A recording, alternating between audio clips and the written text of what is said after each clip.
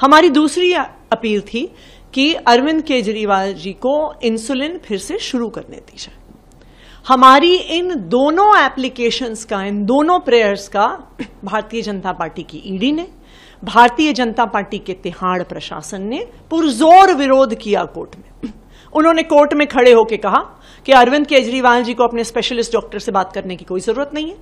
अरविंद केजरीवाल जी को इंसुलिन की कोई ज़रूरत नहीं है।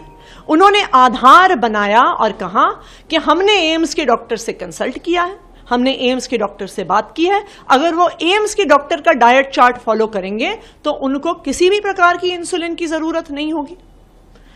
जो कागजात उन्होंने आधार बनाए इस बयान के जो कागजात उन्होंने सबमिट किए कोर्ट में, वो क्या दिखाते हैं? ना ईडी ने, ना तिहाड़ प्रशासन ने, किसी भी डायबिटीज़ के स्पेशलिस्ट डॉक्टर से अरविंद केजरीवाल जी का कंसल्टेशन करवाया, ना कोई चेकअप करवाया, और ना ही जिस डाइट चार्ट को वो आधार बना रहे थे, ये किसी डायबिटीज़ के डॉक्टर ने नहीं बनाया, ये किसी डायबिटीज़ के डिपार्टमेंट ने नहीं बनाया, ये किसी एंडोक्रिनोलॉजी के डिपार्टमेंट ने नहीं बनाया ये मात्र डिपार्टमेंट ऑफ़ डायटेटिक्स और न्यूट्रिशन ने बनाया। और इन्होंने जो कागज़ सबमिट किए हैं, उसमें क्लियर लिखा हुआ है कि डाइट चार्ट बनाने वाले एमबीबीएस डॉक्टर नहीं है, एक चीफ डाइटिशियन है। अब आप ये बताइए, ये क्या मज़ाक है? अरविंद केजरीवाल जी दिल्ली के चुने हुए मुख्यमंत्री हैं। अरविंद केजरीवाल जी को 30 साल से डायबिटीज़ है। अरविंद केजरीवाल जी को चौवन यूनिट इंसुलिन देनी पड़ती है अपनी डायबिटीज़ को कंट्रोल करने के लिए।